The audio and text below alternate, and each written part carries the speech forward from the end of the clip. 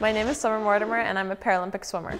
My passion for sport began when I was around two years old. My parents had me in swimming lessons and uh, my whole family is really involved in the sport of swimming so ever since I was little I've always been a part of it. Before my accident, I was a competitive swimmer and a competitive trampolinist.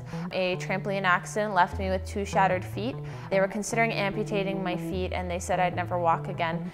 At that point, you know, I was worried about what I would be able to do, if I'd still be able to swim, if I'd be able to walk, uh, but I wasn't going to take I can't for an answer. So as soon as I got out of the wheelchair, which was half a year, I was back in the water learning how to swim and teaching myself how to walk. As soon as I was able to, I got assessed for parasport and now I'm in swimming. I have broken four world records and won four gold medals at Worlds. I've gone to a couple different international swim meets. I've won para uh, Female Athlete of the Year award for Ontario and Canada. And to date, I've broke multiple world records.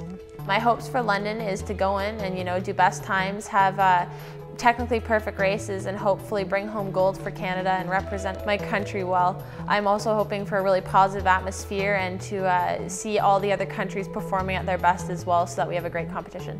What I would say to someone getting involved in any kind of sport is make sure that you love what you're doing. You won't be able to perform at your best unless you truly love the sport that you're in. So make sure you're doing it because you love it and not for other reasons.